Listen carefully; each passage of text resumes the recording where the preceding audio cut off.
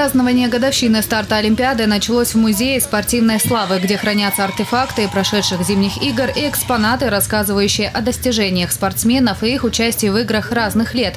Почетных гостей, без которых было бы трудно представить Олимпиаду, встречали волонтеры.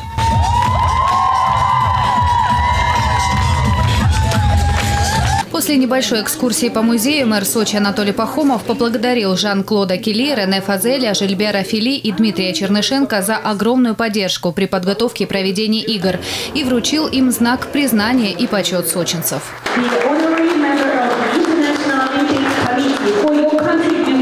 После церемонии награждения почетный член Международного олимпийского комитета и президент Международной федерации хоккея на льду оставили свои пожелания городу в книге почетных гостей музея.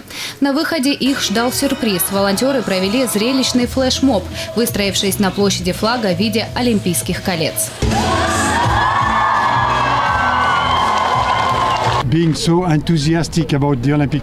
Хочу пожелать Сочи, чтобы он дальше развивался, чтобы мечта, которая сбылась, оставалась живой, чтобы здесь всегда присутствовал спортивный олимпийский дух.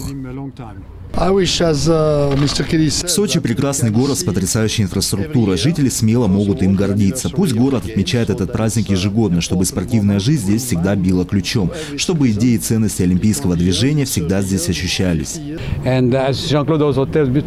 Каждый год 7 февраля мы будем приезжать сюда, будем с вами. Мы обещаем, теперь мы даем такое же обязательство перед городом, как Сочи выполнил для заявочной книги. После пожеланий и обещаний почетные гости выполнили ответственную миссию. Знаете, меня переполняет чувство, я не мог даже представить, это больше даже, чем орден. Спасибо, Сочи, спасибо, земляки.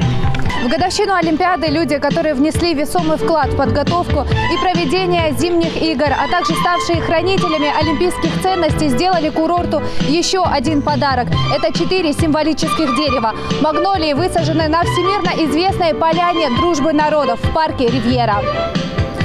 Татьяна Нагорская, Демид Даниловский, телекомпания «ФКТ».